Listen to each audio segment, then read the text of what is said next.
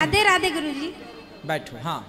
Cinnamon Narayan गुरु जय श्रीमन नारायण मेरा एक प्रश्न है कि हम छिंदवाड़ा जिला से आए हैं सत्तर अस्सी लोग हैं और हम सब मिलके भागवत करवा रहे हैं। कहाँ पे ये घीसासंद आश्रम में? ठीक है। सब लोग जोड़े से आए हैं। हम कुछ लोग जोड़े से नहीं आए तो उसका फल हमको मिलेगा क्या नहीं? काहे नहीं मिलेगा? पर जोड़ा कहाँ है आपका? नहीं जोड़ा लेके नहीं आए। काहे नहीं लाए? नहीं आना नहीं हुआ। क्यों? वो घर पे समस्या आ गई थी। चलो कोई बात नहीं। मिलेगा फल? क्यों नहीं मिलेगा? पूरा और मिलेगा। जैसे कि किसी की मृत्यु हो गई उसके बाद अपन एकादशी का व्रत करते हैं तो उसका फल उनको देना है तो कैसे करें? तो आप एकादशी करते रहो मृत्यु हो गई है तो क्या हुआ? आप पुण्य क्यों छोड़ना है? नहीं फिर उसको अध्यापन करवाना पड़ेगा ज़रूरत नहीं है। चाहे तो करा सकते हैं वरना कंटिन्यू रखिए। फिर उनके नाम से रह रहे यानी उनकी किसके नाम से? यानी हमारे दादा ससुर की मृत्यु हुई ससुर तो गए। हाँ। अब वो किए एकादशी के नहीं? अब उनने किए नहीं किया अपन को। हाँ तो उनने नहीं किया ना? हाँ। तो तुम करके थोड़ी उनको दे सकती हो। नहीं कुछ लोग बताते हैं। अरे कुछ तो कुछ भी बताते हैं। दादा तो किया नहीं जीवन हाँ। भर अब बहू करे पुण्य उसके नाम का।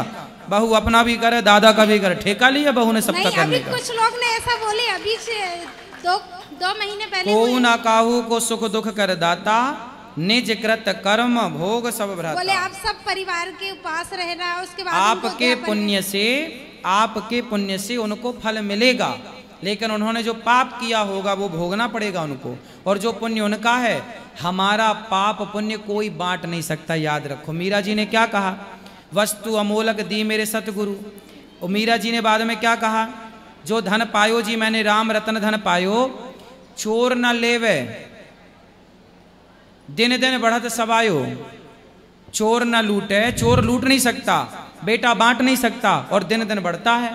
तो पुण्य और पाप ये दो चीज़ें ऐसी हैं ये कोई किसी की कभी चुरा ही नहीं सकता। मेरा पाप मेरा पुण्य सदा मेरे पास रहेगा। आपका पाप पुण्य आपके पास ना आपका मैं ले सकता ना मेरा आप ले सकते। इसलिए दादाजी पुण्य करे होंगे तो उनकी मुक्ति हुई होगी। हाँ।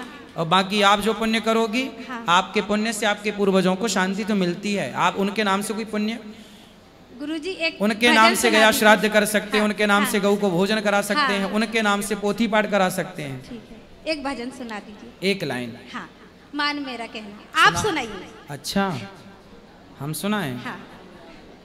तो मान मेरा कहना नहीं तो पछताएगा। बहू का किया पुण्य बहू को मिल पाएगा। मान मेरा कहना नहीं तो पछताएगा।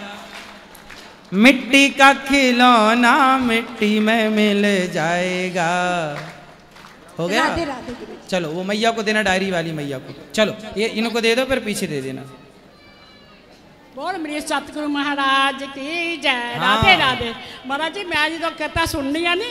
मेरे मन में शांति बहुत होंगी है मैं कथा सुननी हाँ।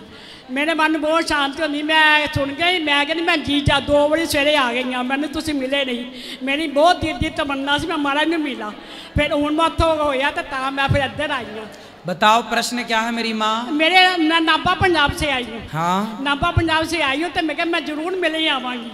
ਤੇ ਮੈਂ ਦੀ ਕਥਾ ਸੁਣ ਕੇ ਮੇਰੇ ਮਨ ਨੂੰ ਆ ਮੈਂ ਕਿਤੇ ਨਹੀਂ ਆਪਣੇ satsang ਕਰਨੀਆਂ ਭਜਨ ਭਗਤੀ ਕਰਨੀਆਂ ਸਭ ਕੁਝ ਕਰਨੀਆਂ ਮਨ ਨੂੰ ਸਭ ਹੈ ਬੱਚੇ ਸੁਖ ਨਾਲ ਵੀ ਆਏ ਹੋਏ ਆ ਬੱਚੇ ਵੀ ਆਏ ਹੋਏ ਆ ਮੈਂ ਆ- ਮੈਂ ਹੂੰ ਮੇਰਾ ਘਰ ਵਾਲਾ ਹੈ ਤੇ ਮੈਂ ਜੇ ਬਾਈ ਚਾਂਸ ਲੋੜ ਪੈ ਗਈ ਮੁਝੇ ਆਣ ਦੀ ਤਾਂ ਦੇਖੋ कोई प्रश्न है मेरी माँ हाँ जी। नहीं कोई सवाल है सवाल है जी हजे कुछ नहीं सवाल उसी है कुछ तो मेरे पूछो बच्चे का है। है है तो मेरे बच्चे हैं ਉਸ ਤੋਂ ਬਾਅਦ ਬਾਈ ਚਾਂਸ ਹਾਜ਼ਰ ਬੱਚੇ ਮੈਨੂੰ ਸਮਝਦੇ ਨਹੀਂ ਹੈਗੇ ਬੇਟਾ ਨਹੀਂ ਮੈਨੂੰ ਸਮਝਦਾ।